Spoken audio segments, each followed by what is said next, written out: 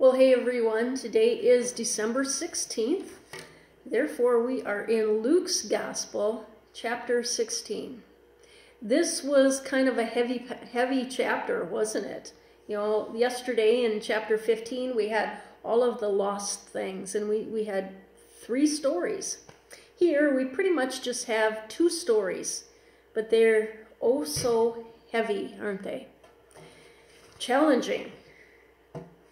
Well, let's dive in. We have this parable of the shrewd manager, a dishonored steward. It starts out with There once was a certain rich man who had a manager handling his affairs. One day a report came that the manager was wasting the employer's money. This is about money and property really what Jesus is saying here is we're all going to have to give an account someday of how, how we live our life.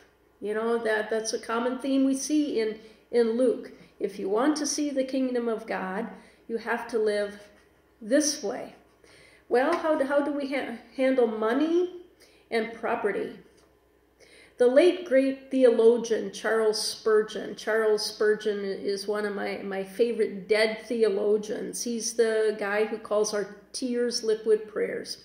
He says this We will all have to give an account in regard to our time, our talents, and our resources, our influence, our substance. Let me try that again, okay? He says, We will all have to give an account in regard to our time, our talents, our substance, and our influence. Someday we will have to give an account. Here, the boss fires, fires the employee. The steward is now unemployed. And so the steward makes friends with the master's debtors and he settles the debts for less than they owed. Jesus, says, What if, what if we pursued the kingdom of God like we pursue profit and pleasure? Wow, huh? What if we pursued the kingdom of God like that? Then we get a little segment about investing.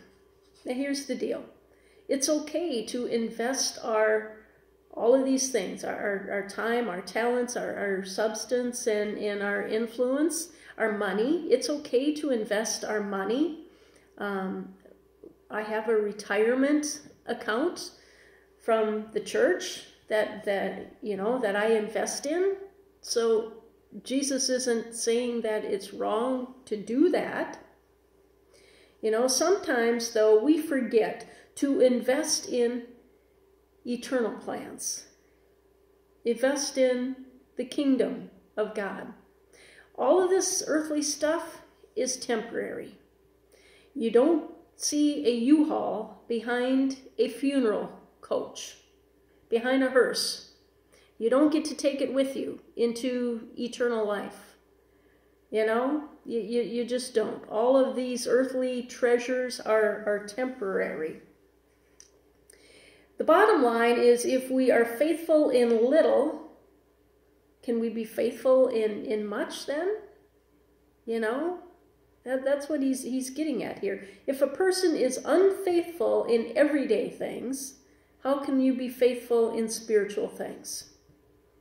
Then we get just a little segment about serving two masters, and I think that's self explanatory. We remember Jesus' Sermon on the Mount in Matthew chapter 5, where your treasure is, there will be your heart also. One of Verlaine Ross's favorite passages.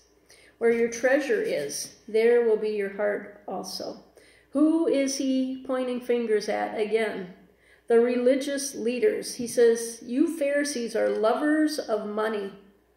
They disrespect those that are lesser than. Again, a common theme in, in Luke lifting up the lowly, lifting up the disadvantaged and, and the marginalized. He says, You're lovers of money. You disrespect the lesser than. God knows your hearts, is what he's saying. And God knows our hearts too. The law. um, it, it says, since that time, since that time. What does that mean? It means since the time of John the Baptist's death. Now Jesus is on the scene. We get a little bit about divorce, which is always used out of context. What Jesus is getting at is the Pharisees taught that a man could divorce his wife for anything, including little things. Maybe the man saw a prettier woman. I think I'm going to divorce my wife. And the Pharisees went along with it. Well, my wife's a bad cook. I think I'll divorce her. And the Pharisees went went along with that. And, and so that's what Jesus is getting at. It, it was um, getting to be an issue that these men were, were just tired of, of a woman, and so they just got a divorce. And the church guys were going along with it. Think they needed a little premarital counseling. What, what do you think? Our last story is a big story. I hope you had a chance to look at my my post today about Hades that sheds a little bit of light on this, I think. The rich man and Lazarus. I've preached on this before. I think I've titled it A Thin Line. A Thin Line. Some of our older translations are going to give us the name of the rich man and call him Dives. Maybe you have that translation. If you do, shoot me a message. But in the newer translations, the rich man is not named. That's on purpose. Here, the poor man is named. Again, Luke is going to lift up those that are marginalized. And what is the poor man's name? Lazarus. Now, this is not the same Mary, Martha, and Lazarus.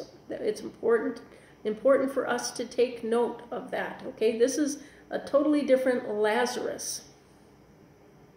And so the rich man, it tells us, is clothed in, in purple. Purple was an expensive cloth, and rich people wore it. Um, kings wore it. Purple is the color of royalty in Scripture. Uh, so purple cloth. He, he's got this purple robe, and he's got lots of stuff, and he eats high off the hog, and so does his dog. Here we see that Lazarus, he's got these open wounds. He, he's got sores uh, all over. And he's laying at the rich man's gate, and the rich man's dog even comes and licks his sores. And he doesn't give any food to poor Lazarus. He's got it all, but he doesn't take care of Lazarus.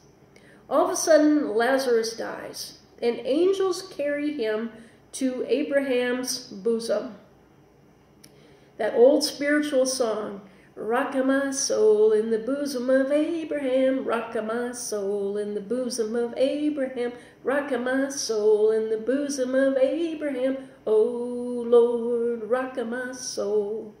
You know, used to sing that in Sunday school, had no idea what it meant, had no explanation whatsoever, but that's where it comes from, it is this story. That, that's where it comes from, rock of my soul. So we find out that the rich man dies also, and he goes to Hades.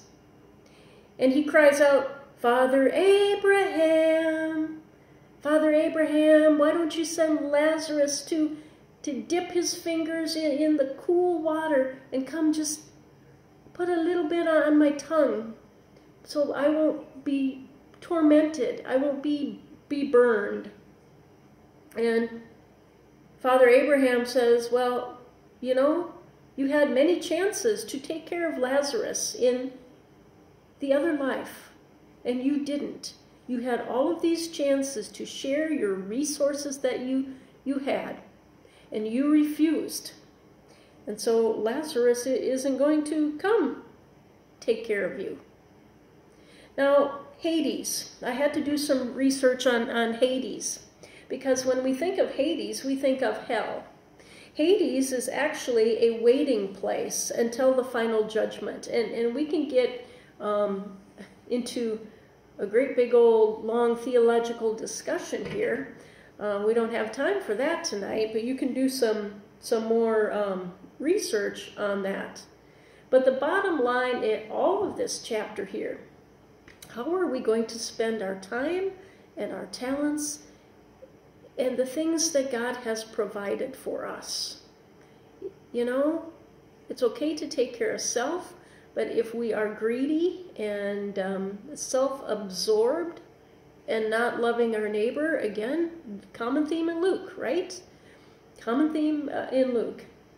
It's how we live our life and how we, we share our, all of our, our resources. So, Bobby Joe was just here um, videoing for Vicar Rick and us. So, you know, Bobby Joe is giving up her time and her talents and, and resources.